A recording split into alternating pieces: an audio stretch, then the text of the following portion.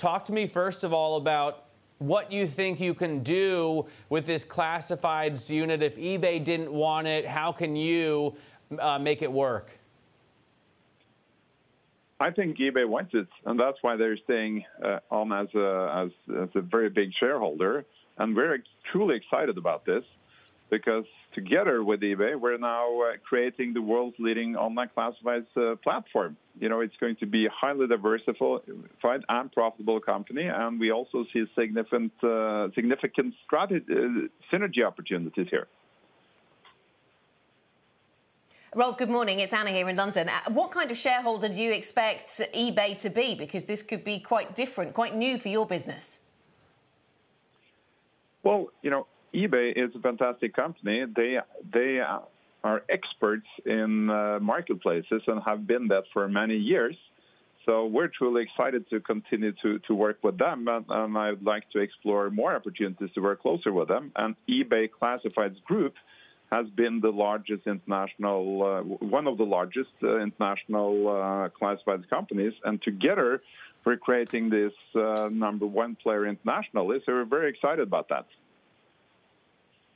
I'd say, you know, during um, the lockdown period, I've been using things like eBay classifieds a lot more than I had in the past. How sticky, because I'm sure a lot of other people have been as well. Rolv, how sticky do you think that is? Will we continue to be, uh, you know, do, doing our consumption, doing our shopping this way?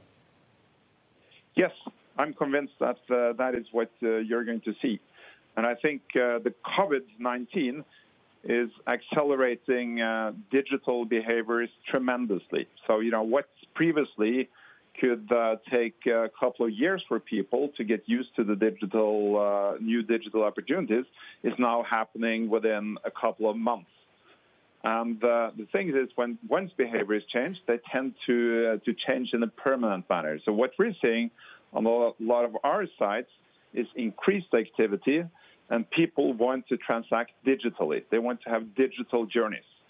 And and uh, what I like to say that the yardstick for for us here is are not only other classified companies, but it's also uh, it's also uh, you know, the e-commerce giants. People like to uh, do one click and then tra- transact.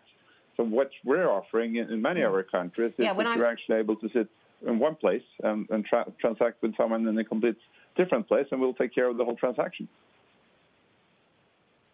when I when I buy something online, Rolv, I didn't know I was setting off on a digital journey, but maybe that's what I'm doing.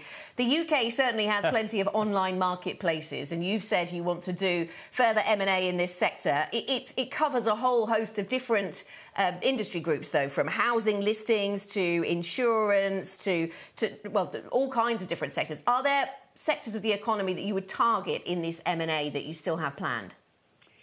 Well, uh, first of all, I'd like to say that first we're going to close this deal, which we expect will happen in Q1 first year, uh, next year, and then we're going to do integration. But I've said that further down the road, of course, further M&A is also interesting.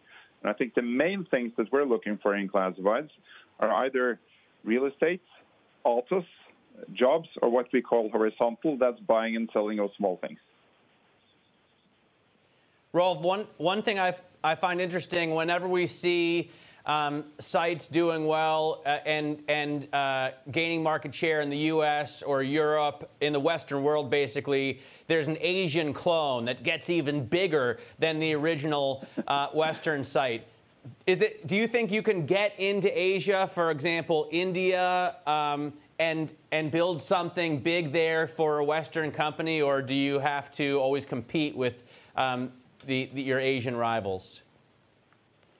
Well, I think that the Western markets is uh, very large and, and creates a lot of opportunities uh, for us. That's where we'll concentrate our efforts, uh, you know, now and to get this deal in place and, to integrate. So I think that'll be our focus to the Western world, and then and then who knows at a later stage, perhaps we, might, we may pursue opportunities there.